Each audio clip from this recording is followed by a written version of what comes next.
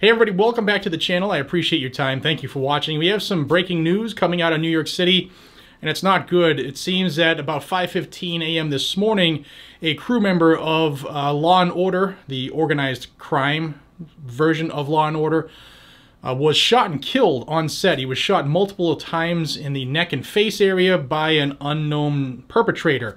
Uh, police have as of yet, uh, the victim has not been identified, nor have any leads come in on the shooter.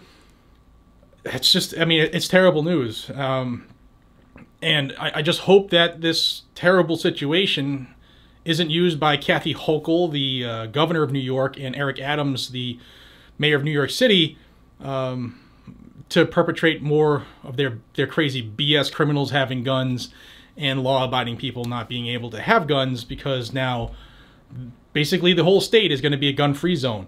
Um, so just ter terrible news coming out of New York City. As more information comes forward, I will bring it to you. Uh, just guys and gals, remember, man, it's even when you don't think like, oh, I'm just going to the store.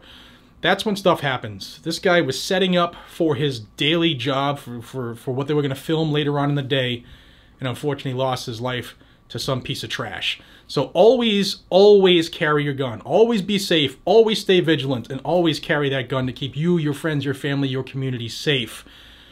Guys and gals, it's getting, it's real out there. And evil can be in front of you just like that. And if you're not prepared, there's not a cop in the world, there's not a phone call you can make that'll save you. You got to take care of yourself. I'll see you on the next one. Take care.